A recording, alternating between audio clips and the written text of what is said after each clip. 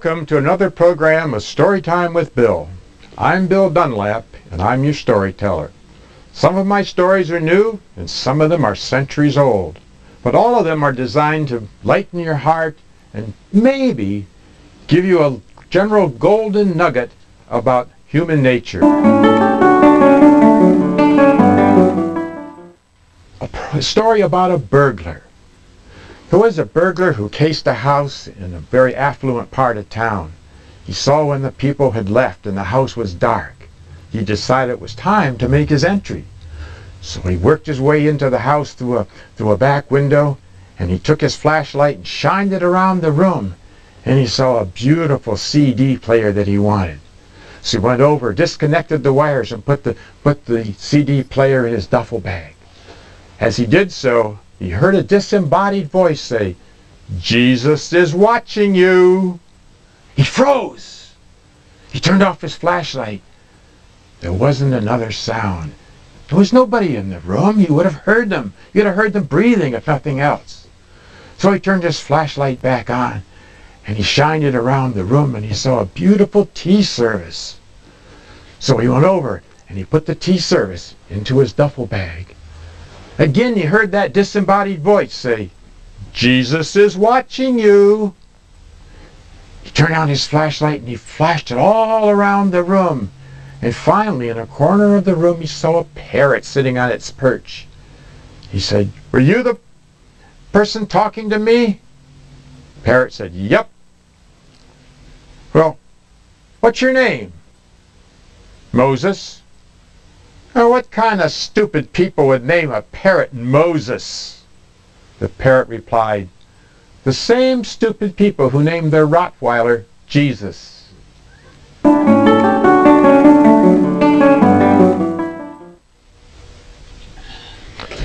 next story is going to be about a tailor who lived in an ancient land called Persia. More recently, it's been called Iran. This was a, a, very famous tailor, known throughout the Middle East for his fine quality of his work. The problem is, he spent all his time making clothes for other people. He made clothes for kings and queens, prime ministers, statesmen, noblemen of all types. But he never had time to make clothes for himself. His clothes became very, very shabby and dirty. Why, his wife was ashamed to be seen with him when they went to church on the Sabbath. His wife wouldn't even sit near him. He used to have to sit in the back of the church all by himself because he was such a disgraceful looking person. Still, when it came to making clothes, he was considered almost a genius. One day, without his ever ordering it, a bolt of beautiful silk cloth appeared at his doorstep. He had never seen such magnificent cloth. It was of all colors. It was brown, green, blue, yellow, red, every color you could possibly think of. The tailor held that cloth up to the sunlight and he looked at it. He fell in love with that cloth and he decided that he was going to ignore all of the orders that he had and he was going to make something for himself. He decided he'd make a great coat for himself. So he stitched and he sewed and he snipped and he cut and at the end of the day, he had a beautiful multicolored coat. It went all the way down to his feet. And he was so proud of that coat. He wore it home. He wore it during dinner. Why, he even wore it to bed. He wore it at work. He wore it at play. He never took that coat off. But in time, the coat became a little bit soiled, a little bit ragged, and he decided that he should do something about it. He said, Sarah, Sarah, what am I going to do with my beautiful coat? It's, it's looking rather tattered. She said, Throw it away. I hate that coat. But he said, No, I'm a tailor. I can make something out of it. So he cut and he snipped and he stitched and he sewed and he made himself a very short jacket. And he was so proud of that jacket, he wore it all the time. He wore it at work. He wore it at play. He wore it at home. He wore it outside. He wore it to bed. He never took it off. But in time it too became soiled. Besides, he wasn't the very, very most genteel eater. He got food all over it and it began to look bad and smell bad. And he said, Sarah, what am I going to do with my lovely jacket? It looks so, so tattered and dirty. She said, throw it away. I can't stand that cloth. He said, no, I'm not going to throw it away. I'm a tailor and I can make something out of it. So he cut and he, and he, he cut and he snipped and he stitched and he sewed and he made himself a tie. Oh, it was a beautiful tie. He loved that tie. And he wore it at work, he wore it at play, he wore it at home, he wore it out in, in, the, in the village, he wore it to bed. He never took that tie off. But not being a very careful eater, the tie got terribly stained with food. And he looked at it and he said, Oh, Sarah, look at my beautiful tie. It's so dirty. I, I don't know what I'm going to do with it. And she said, Throw it away. I hate that cloth. He said, No, I'm a tailor and I can make something out of it. So he made a button. He covered the button with his beautiful, with the remnants of his beautiful tie. And he sewed it on his old jacket. And he was so proud of that. He wore that button on his jacket everywhere. And one day, during a rainstorm, the threads broke. And the button fell off his coat and rolled into the gutter and swept out into the sea. And he went home and he said, Sarah, I've lost my button. I've lost the last of my lovely bolt of silk cloth with so many beautiful colors. She says, I am glad. I am so happy you've gotten rid of it. I've always hated that bolt of cloth. Yet finally we're done with it. He said, no, I'm not only a tailor, I'm a storyteller. And I can make a story out of it. And that's the story I've just told to you.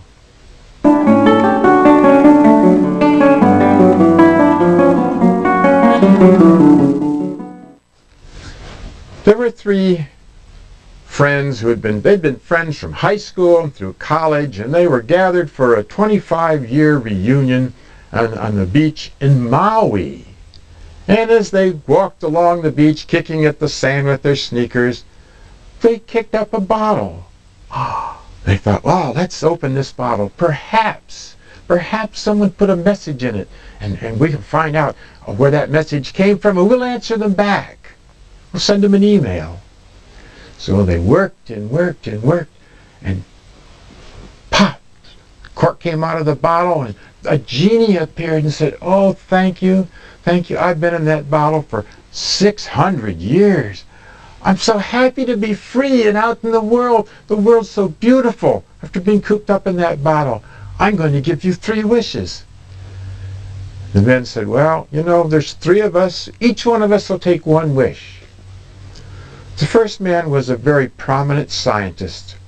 He had a modest home. He had an old car, but it ran well. He had a beautiful wife and a child. He said, you know, I have everything I want. I just wish I was ten times smarter. The genie said, poof, you are now ten times smarter. The second man said, I'm very well to do. I have a luxury car. I have a, a very fine house. I have a wife and I have three children. But you know, all of my life, that man, that scientist, has always been smarter than me. He's always intimidated me. I hope that I, I, I want to just be smarter than he is. Genie, make me a hundred times smarter. So poof, the genie said, you are now a hundred times smarter. The last man said, I'm very wealthy. I have a mansion for a house. I have a fleet of cars and a chauffeur to drive them. I have maids to cater to my every whim. I have a wife, I have seven children, and I have a yacht. But you know, I was always the dummy in the class, and people used to make fun of me because I got such poor marks. And here I am, the most successful of all of them. But they'll still look down on me. Genie, I want you to make me a thousand times smarter. Genie said, poof, you are now a thousand times smarter. You're also a woman.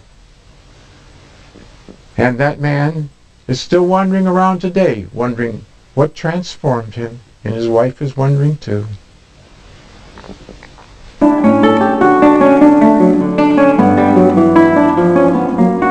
Thank you. Along the same line, I'm going to tell a story from Greece. It's about, it's called Truth and Falsehood. Now, many, many centuries ago, truth and falsehood grew up as children together, played in the same schoolyard, had the same friends in town, but then they, they parted. And they didn't meet each other until one time they met at a crossroads. Falsehood said to truth, And how are you getting along, my friend? He says, Oh, very, very poorly. Everywhere I go, there's trouble. And I bring trouble to the people who still love me. It's a terrible life, and it's getting worse every year. Falsehood looked at Truth and said, Yes, I can tell by your clothes that you're having a hard time. Your clothes are ragged. And Truth said, Worse than that, I haven't had any food pass my lips for over a week. I can hardly stand up. Falsehood said, Come with me. I'll get you a good meal. I'll dress you just like a, a gentleman that I am. Only you have to agree that you will never contradict whatever I say or do. Truth said, I'm so hungry, I'm famished, I'll go along with you. So they walked into town. They walked into the best hotel in the town. And they sat down, and Falsehood ordered a sumptuous meal. He ordered a, a great meal and great drink. And the two of them sat there and, and enjoyed themselves. Truth was very grateful for the opportunity to have something to eat. And after many hours had passed and most of the patrons had left the restaurant, Falsehood reached out and banged his fist on the table. The hotel keeper, seeing that Falsehood looked like a noble gentleman, came over himself to see what was, what was wrong. Falsehood said, When am I going to get my change? I gave a sovereign to that waiting person, and he has never brought me back my change. The hotel owner called the serving person, and the boy said, I have, why, that man didn't give me anything. He hasn't paid a pence. False said, well, in a fine hotel like this, I didn't think they would rob their customers. Here, take this sovereign and bring me back the change, and I'll remember this next time I'm in town. Well, the hotel keeper knew that a fine gentleman look, looking like uh, Falsehood wouldn't tell a lie, so he handed back the sovereign and told the wait person to bring back the change for the sovereign that was never paid. When he brought it back, uh, the falsehood gladly took the money, and the hotel owner beat up the young lad who had not received any money at all. He protested that he had not been paid, but he was beaten up and kicked out of the restaurant. When Truth and Falsehood left the restaurant, the young man said, Oh, Truth, where are you? Are you no more, Truth? And through clenched teeth, Truth said, Yes, I am here. But I had not eaten in a week, and I was desperately hungry. But in exchange for a food, I agreed not to speak. You're going to have to get yourself out of this mess. My tongue is tied. Then Falsehood looked at Truth and said, Ha ha, you see how easy it is? Why, I not only got a grand meal, I came out with more money than I had when I started. And Truth said, I would sooner die of hungry than connive the way you do. And he walked away. Truth and falsehood have never ever met again. And in my estimation, they never will. There was a, a woodsman living by the side of a, of a stream, and he made his money by chopping down trees and cutting up into firewood that he sold to the people in the nearby village. He had one axe. It was a, his prized possession. It was the tool that he used to earn a living. His living just supported himself and his children. But he was a cheerful person, and he went out, and every day he chopped the wood, cut it up into kindling, and sold it to the villagers. There was one day he went out and he picked out the tallest tree in the forest, and he decided he would fell that tree. So he worked and worked. He worked all morning long, but he wasn't even halfway finished cutting through the, the, the trunk of the tree. And he sat down by the side of a stream to enjoy his lunch. And as he sat there, he kind of dozed off. And in dozing off, his prized axe slipped out of his hands, slid down the grassy bank and into the stream. When the woodsman broke, woke up, he saw that his axe was missing. He looked into the stream. He knew it was in the stream, but he couldn't see it. He dived into the stream himself, but he couldn't get to the bottom. It was so deep at that point. And he went back up and he climbed back up on the, on the side of the bank and he began to cry. His only means for supporting his family was at the bottom of that bottomless stream.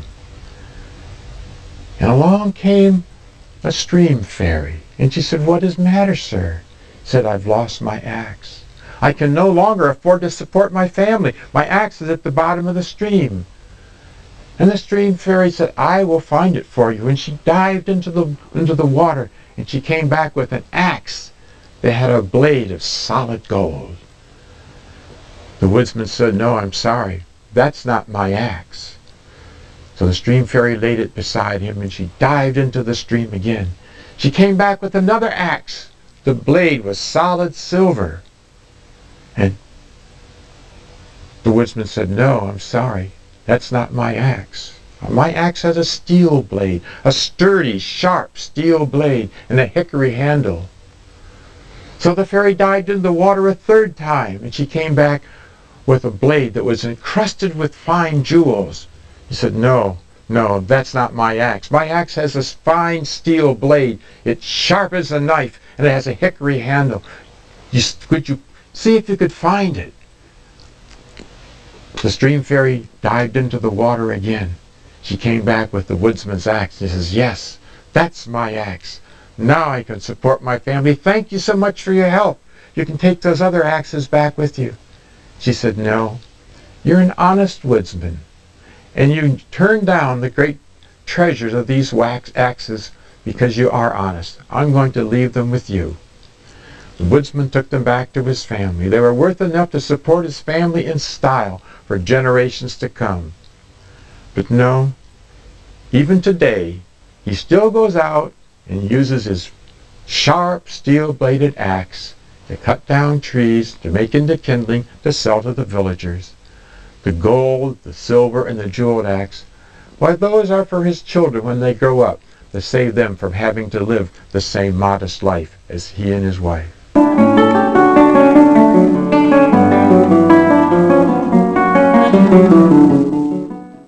Many, many years ago, I contracted an illness that kept me in the hospital for exactly one year to the day. I was paralyzed for the first few months I was in the hospital. Eventually I got to the point where I could roll around the hospital floor using a wheelchair. And I used to like to go down to the maternity ward. There in the waiting room, they had the most up-to-date magazines and up-to-date papers. And I could always tell for, for the husbands that had were expecting their first child as opposed to those who had had children previously. The ones who had had previous children, while, while they were sitting quietly putting together puzzles. I saw one man making a model airplane. But, but the first-time fathers, they paced and paced. They were so anxious and so nervous. They perspired profusely. Was one time when a man perspired and he and, and walked around. He paced back and forth, back and forth, all for an interminable period of time. Finally, the nurse came out and said, Oh, Mr. Johnson, I'm very happy to tell you that your wife just gave birth to a beautiful baby boy. He said, Oh, that's wonderful, wonderful. I always wanted a baby boy. The first child's a son. I am so grateful. I want to go see my wife. And the nurse said, No, no, no. Just wait a while. She's still in the delivery room. Uh, as soon as the doctor gets her cleaned up, you'll be able to go in and see her. I guarantee it. The man resumed his pacing, back and forth, back and forth. After what seemed like a terribly long time, the nurse came to the door and said, Mr. Johnson, I have great news for you. Your wife just gave birth to a beautiful little baby girl. And he said, oh, that's absolutely wonderful. I wanted a boy. My wife wanted a girl. We have, both of us have what we want. I, I, I'm so happy. Let me go see my wife. The nurse said, no, no, no, Mr. Johnson. She's still in the delivery room. As soon as the doctor gets her cleaned up, you'll be able to go in and see her. I guarantee it. He paced and paced and paced and paced, and the nurse came out again, said, Mr. Johnson, we didn't expect this. The doctor had no idea, but your wife just gave birth to another baby girl. You have triplets. He says, oh, I'm so happy. A whole family at once. Why, this is wonderful. Let me see my wife. And she said, no, no, no, no, no. She's still in the delivery room. You have to wait. And then you can go in. I guarantee it. So he paced and paced and paced. And she finally came back and said, Mr. Johnson, you won't believe this. This is the first time this has happened in this hospital for, oh, five or six years. Your wife just gave birth to another baby boy. You have quadruplets. He says, oh, I'm so happy. He rushed into the delivery room and the nurse says, Mr. Johnson, Mr. Johnson, you can't go in there. You're not sterile. He said, you're telling me.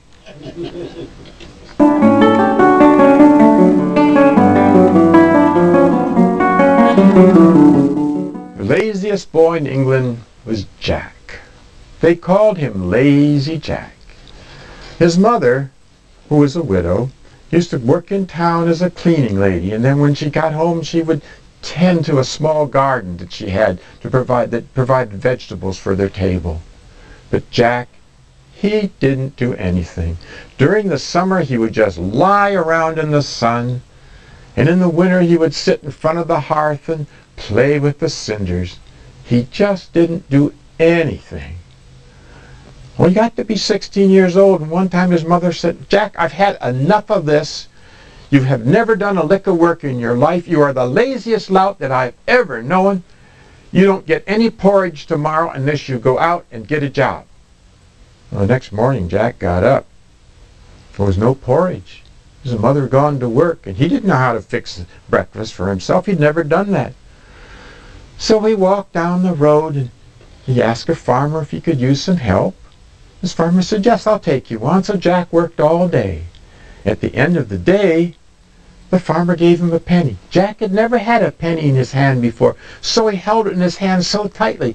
And on his way home, he crossed a bridge and he stood down and, and he looked down and saw the fish playing below. And as he looked and looked, he got so excited, he opened his fist and the penny dropped into the, the lake. He went home and said, Mother, I worked all day and the farmer gave me a penny and I was so excited when I was watching the fish that I dropped it into the lake. She said, Jack, Jack, you are so lazy and you are so dumb. Next time, put it in your pocket. The next day, Jack went out. He got a job with a dairyman. Then worked all day and the dairyman gave him a jug of milk. No top on it, of course. Jack remembered what his mother said, and he put the jug in his pocket. And as he walked home and walked up the hill, every time he took a step, some of the milk fell out of the jug. And when he got home, the jug was empty. He said, Mother, I did what you told me. I put the jug in my pocket, and all the milk spilled. And Jack, you're not only lazy, you are so ignorant. Next time, next time, put it on your head. Jack went out third day. He got a job with the same dairyman, only this time the dairyman gave him a big hunk of cream cheese. And Jack put it on his head. And he walked home, and as he walked home, pieces of the cream cheese fell down onto the ground. And when the rest of the cream cheese got totally entangled in his hair, it was not edible at all when he got home. And his mother said, Jack, Jack, you are the laziest, dumbest, most ignorant lout I've ever imagined. Next time, put it in your hands. So Jack went out the fourth day. At the end of the day, the farmer gave him a cat. Jack put the cat in his hands, and he carried it home. But it was an old tomcat, and he didn't like being carried. He didn't like leaving his home. So he clawed at Jack. He bit at Jack, and Jack's hands got very bloody. His face was scratched. Jack got almost home, and he couldn't stand the pain anymore, so he let the cat go. Jack got home, told his mother that the farmer gave him a cat, and, and he did what she said. I carried it. I carried it in my hands.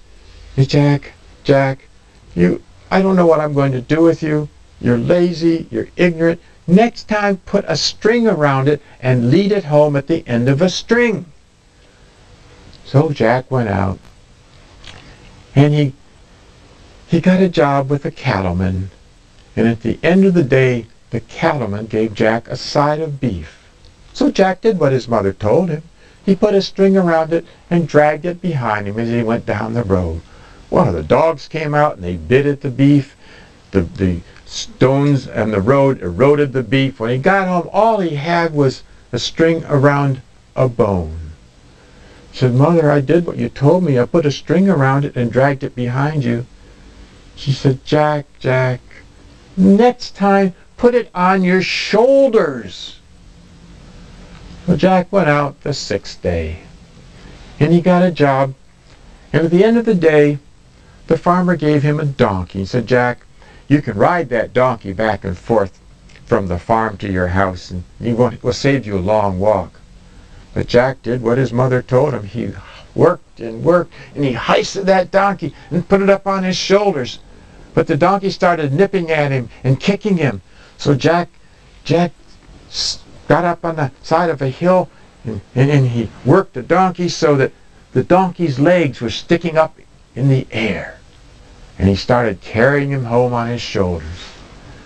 Now on the way home, Jack had to walk through town, and in the town lived the king in a palace. And the king had a daughter. She was very beautiful, but since she was born, she had never spoken a word. The people thought that she was deaf and dumb. But she had such a dour face. She never spoke. She never smiled. The doctor said that the first person who could make her laugh, well, she'd be cured. So the king sent out an edict. He said, the first person who can make my daughter laugh, I will give him her hand in marriage and he can have half of my kingdom. Well, Jack was walking past the castle, and that girl with the dour face was looking at him. And she saw the donkey going by on Jack's shoulders with its forelegs straight up in the air and it kicking in the air. She thought that was so funny that she broke out in laughter. And the king kept his word. He let, got Jack married to his princess daughter, and they lived in the castle. Jack had half the kingdom, and he and his mother and his wife have lived happily ever after. This ends my stories for this session of Story Time with Bill. If you have enjoyed my stories, you found them informative, if you found a nugget of truth, then that's because you have love and compassion in your hearts. If otherwise, why then that's my fault because I was the storyteller. So it was, and so it is you can contact me at 408-776-7662 or you can send me an email at wndstories at earthlink.net.